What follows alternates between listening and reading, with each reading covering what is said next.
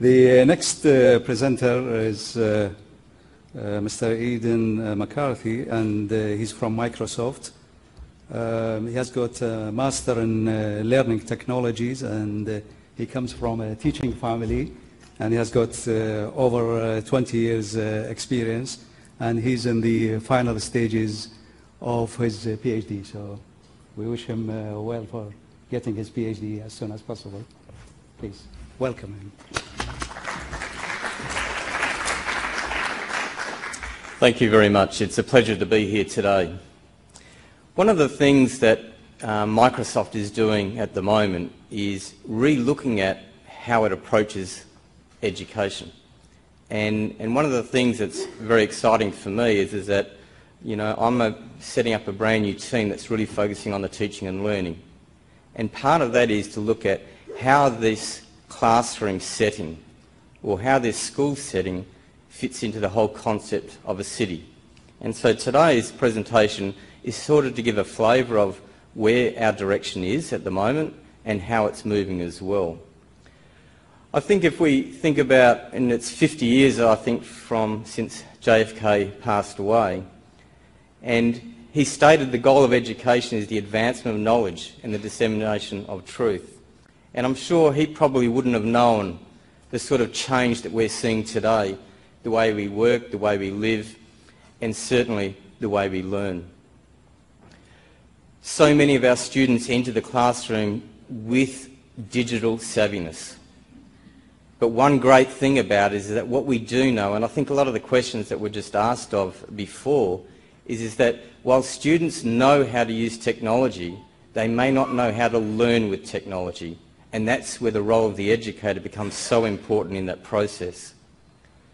You know, if we think about, you know, a child that's starting school today, they've got a backpack on. And if we think about all of the content of the world that exists today sits in that backpack, by the time they finish school, it's going to be at least 70 times in terms of 75 backpacks they're going to have to carry. And if we think about this person as they've, you know, got older, you know, by 2050, it's basically it's they're at the, the prime of their career. What sort of skills, expectations, knowledge would that of today be assisting them as they transition through? So we know there's significant trends. We've seen it yesterday, today, we've seen it in our day-to-day lives. Around, particularly for education, funding continually changes. Our populations change particularly in how many students should be in a classroom, how we manage technology, staffing, expectations around accommodation, what does a library look like? All of these things have got impact. The advances in technology, and certainly, as I indicated, these sorts of skills that are required to make us successful today and for the years to come. We're also very much wrapped up at the moment in terms of our economy, whether it's here in the UAE, or in every other country, we're going through significant change. Okay, what does our society going to look like in the next 20 or 30 years? Are we prepared for it? Are we resourcing it? And one thing that we can see globally at the moment is there's this re-energisation happening within the K-12, within the school area, and moving into universities as well to try and educate people with the best possible scenarios and skills to make them self-sufficient. We have this sort of interconnectedness now. And when we talk about that, it might be that learning is occurring through social media. How do we utilise that? How do we share that? In the last session we talked a lot about security and those things came up as being issues as well, and safety. So when we start to think about these things, is that Microsoft recently launched a massive new program called Microsoft CityNext. And when we think about that, in essence what this is on about is, is that we know that our citizens, us, within our cities, are basically the power plants of energy of innovation. But it's our education system who are simply now the laboratories of, of the future, the people engines of our economies. So being creative, being innovative, Okay, and a bit, very big skill that a lot of schools are starting to think about now is how do we build entrepreneurship within every one of our learning opportunities. I think there's, you know, significant issues that we all face, whichever city that we're from and whichever country we're from. It's complex. Population issues, ageing issues. You know, one of the largest issues we have is the ageing teacher population. And what does that mean? How do we incent new teachers to become teachers?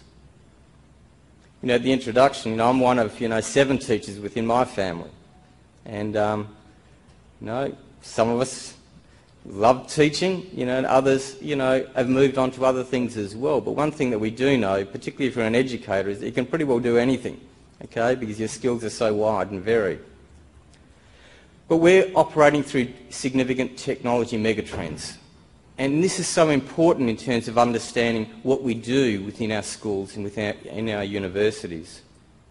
Mobility, and we're all now talking about, okay, whether it's tablet devices or whatever else we might have within our systems, how we leverage that. The social, okay, everything moving to a cloud where we can access all of our information at any point in time. And it's also about this concept of big data. And I'll talk a little bit about that in a few minutes. The advances in technology then is certainly the evolution of the user interface. Being able to have access, touch, all of those sorts of things. But what is the role of the device? And if you think about that from a learning perspective, how important is it? The move to the cloud and then this concept of universal access. And I think what you know, certainly in my career, you know, the, the very first computer lab that I ever managed in a school was a lab of Commodore 64 computers. And uh, it took me about two days to work out what the password was, but eventually I got through. But now we're in a whole different world, a world whereby the access to apps or applications in very small chunks means that we can very quickly change the dynamics of what a learning experience can be. So when we think about this is that, you know, we could say 21st century learning, or we could just simply say smart learning. So what is contemporary smart learning for students today? And as we consider that then, it's really around building out the blended formal and informal learning environments. Digital content is obviously taking up in a very significant way whether it's student created, teacher created, publisher created, all of these are all coming together, but how do we go about effectively using and searching for that as well? Another key area is obviously the employability, preparing students for the workforce. Okay, but it's also preparing for university. But these skills that are required need to be very flexible because we don't know, okay, really what our society is going to look like in the next 10 to 20 years. And then the final area then is this personalisation. We've been talking about this for years. And I think this is where this concept of CityNext starts to come through, is that every company at the moment is analysing their data. They're analysing it to the point, even this hotel, I'm sure, is analysing how many people okay, are coming through their doors every day. How long are they staying in the rooms for? How much are they eating at breakfast, okay, or how much are we going to eat at lunch? They will have it down to the point where nothing is wasted, but they can prepare and make sure they're supporting their customers coming through. The biggest issue in education is, is that we actually have more data than any other vertical. But the teacher who sits at the front of the room or the centre of the room or wherever they are, they have very little access to that data in real time. So it's very difficult to be personalised if we don't have that information in our fingertips. I think the other sort of key thing is, is really stepping back and thinking about what are the skills we require. All over the world there's 21st century skill frameworks. Again, there's a major piece of research, which is actually a bit of research that I'm using in terms of my studies. It's about really resetting what are the skills that we're thinking about, and we look at this from a teacher perspective. So things like the ethical and emotional awareness, or it could be about life and job skills, or creativity and innovation. They're all skills we talk about. And I think there was a comment about, you know, what should be in an RFP. Okay? In essence, a company like mine is, is that, well, if you gave me all of those, okay, and asked me to come back, how are you going to do this with your technologies? That's actually a, probably a better question than we want a 7-inch, we want this operating system, we want it to do X, Y and Z. Okay? Because then now it's coming, it's for us to prove that this actually is a solution that could work for you.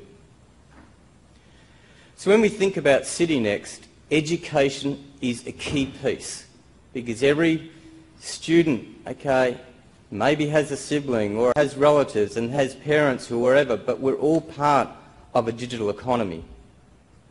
But we're also part of learning institutions that are facing significant challenges. And if we think about this is that, you know, when I look at it from a Microsoft perspective, we're building our devices and services platform. Okay, before, you know, we were really very much focused on our software solutions, but now we're bringing in the devices in a significant way that's taking on all of this new trends that are coming through. We want to transform operations and infrastructure, engage our students in the learning community and accelerate that innovation and opportunity and that's through all the different components. If I think about the UAE, the M government initiative that's currently out, where you'll be able to have access in the next two years on any device, okay, all that information should be taking in learning and education at the same time. So the smart learning, okay, is really about integrating with best practices within all of government. And so one thing is that we do know is, is that, you know, Microsoft is very familiar to people, and so that helps. But more importantly, because of this device and services and solutions that go with that, it offers that broad set of circumstances. At Microsoft for Education, we believe an excellent education is a basic right and a social, economic and workforce imperative. Technology can economically accelerate insight and impact at scale.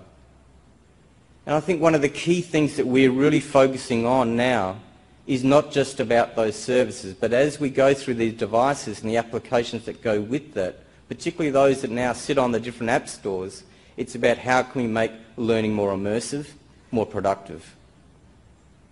Finally, education is part of our community. It's about a collaboration. It's about ensuring, okay, that together we're advancing learning for all. Our vision is anywhere, anytime, learning for all. And it has been since 1995. It hasn't changed. What's really interesting now is that the devices is now at that point where this can really become a reality. So for us it's about transforming education, supporting educators, inspiring students and empowering schools and universities. And it's very much within that context of a city next or a school next or a university next. But one thing that we're very concerned about and very wanting to support is that the last thing we need is lots and lots of initiatives where suddenly a parachute of a device has been dropped into a school. And when we think about that, we need to ensure building in another you know, great research model from Koehler and Mishra around technology, the TPACK, technology knowledge, pedagogy knowledge, and content knowledge all at the same time. Because so often we are fiscally tight in terms of the funding that we have, and so we end up focusing on one or the other. But we need to make sure that these things work very closely together in a very coordinated fashion. I'll just show you one little video that's currently in operation in Malaysia. Oh, sorry, I jumped too quick there.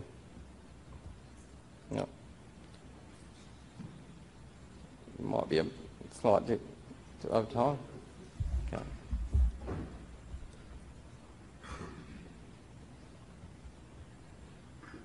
It's not that, yeah.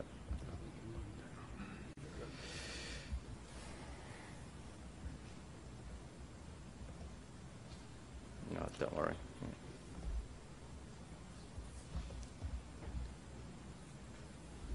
No sound. Don't worry. We've got, we haven't got time. No sound. Yeah. No, I don't know. let's leave it. Yeah, I'll get out of here now. Apologies, people.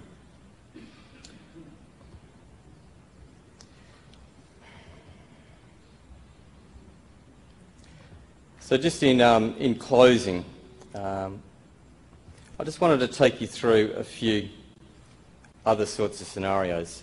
So when we think about transforming education from that perspective, some of the great things that we're doing at the moment is doing a lot of work around game-based learning, particularly around the Kinect and Xbox. Many of you will start to see and already started to utilise things like the Office 365 and our one-to-one program initiatives. From an educator perspective, there is a lot of training, certification, leadership work that's actually occurring. Being part of the innovative teacher programs, the Educator Network, well, we'd love to see a lot of you in Spain for our global forum in March of next year. From a student perspective then, what we're really wanting is for them to be the next part of the City Next innovators and entrepreneurs. Them bringing those skills so as our economies change, so do they. And so there's so many programs that are currently available for any school, from app development through to DigiGirls, the Imagine Cup in higher education, about best practice development of applications or other solutions. But one thing that we're also very aware of is, is that as we work with schools and education systems, is that we need to make sure that the technology that we implement doesn't simply do what it used to do before, but now with a computer. So many now are moving from textbooks to digital textbooks, and that's okay. But if those textbooks don't start to integrate a lot higher order type thinking or activities that start to provide that technology to give us previously inconceivable tasks, then simply we're just substituting what we had from before. And so the engagement doesn't occur. The innovation doesn't occur. Part of that then is to redefine what is our assessment. And that might be that a student's going to create an amazing video or another student is going to create an amazing document. But either way, allowing that choice. The final part is around empowering schools and universities. And the key there is around the learning analytics among all of these other things, which is very much in the technical area, but it's bringing all of those great technical resources back to the teacher, back to the student. So to final, finalise then, you know, I'd like to thank you very much for the opportunity today. Is that one of the things that, you know, we're committed to is to be a partner in that learning. And if we start to consider things like a City Next type approach, is bringing in all of those resources that we have within the company, whether it's on the device, whether it's on the solutions, the services, or our global partner community, all of these now can start to come together. And I'm very fortunate to be part of a team that I'm building that's going to really help and focus on that Ministries of Education to help them in those areas that they really want to develop upon. So thank you very much. And if you need any opportunity to have a chat, then I'll be outside during the lunch break. Thank you. Perhaps we can take one question. Make it short, please. You got the hard questions. See, that was very good, uh, actually, uh, lecture and presentation. Uh, very, very, very important for us. Therefore, this, this led me to, to uh, ask a question here. Uh, see, um, 15 years ago, well, while in the West, in America as well, not in United States only, but in America, I mean, when you, uh, when people there uh, would say plug and play, in the Middle East, in Africa, in the GCC, we used to say plug and pray. Yes. Because, uh, you know, uh, importing technology is, is not like implementing technology by direct people, the direct people involved or customer. Secondly, I would say, according to Nick, manager, ex-manager in the United States, when he say, once he said, education is to create theory, but practical practice is to implement them. So now, uh, under smart learning, Did you consider this element, what he said beautifully? Now, yes, education, education, education. In the end of the day, some country in the world, you'll find it with PhD, in fact, PhDs, but selling hummus. You know what I mean? Yes. Hummus, you know what hummus Yes, means? yes. And uh, maybe uh, fever beans, green fever beans. So where, where this, this actually, I would, I would say, important vision or vision when it comes to the PhD, master, bachelor's education, then now here comes to, uh, to implement the theory, who will implement this the- theory was really coined by these people, educated people, after all this headache when it comes to the education? That is the question. Yeah, no, you, you raise, you know, you know, very important points. And I think one of the, the key areas is that the work with educators, okay, is still the critical number one thing to do. Is that we do know that students are very technically afraid. So there's no point in teachers teaching students how to use devices and software and everything else. We need to allow them to, you know, create, innovate, find out within themselves. You know, if I, I don't know how many, you know, people here have a child that's got an Xbox. How many of those children read a manual to use the Xbox? Okay, do you actually know whether there's, an ex- there's a manual or not? And it, it's very much in that sort of vein whereby the key then is, is really bring, bringing up the skills of teachers and educators to allow them to be able to provide greater and greater opportunities to allow that to come out from a student perspective. Teachers and educators still need to be able to manage the scope and sequence. They still need to know what the end goal is.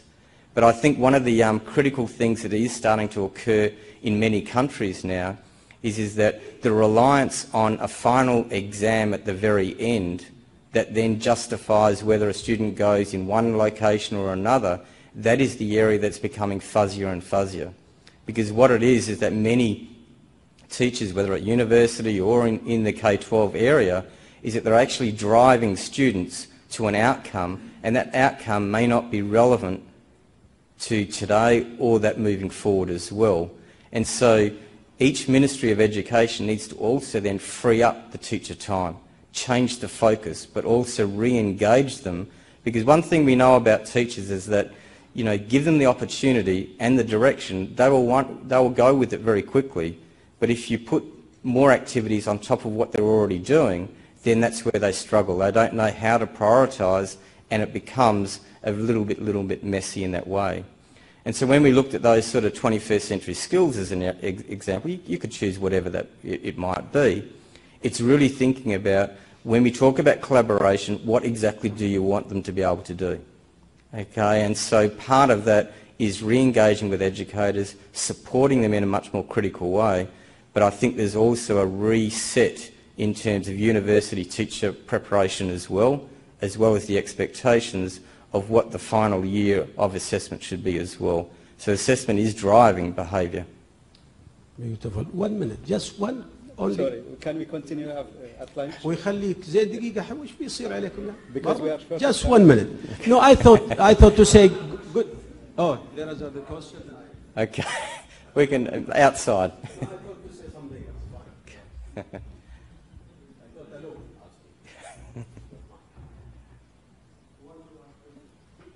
Just make sure it's easy. These are all hard questions here. okay, all right, thank you very much. Thank you very much, uh.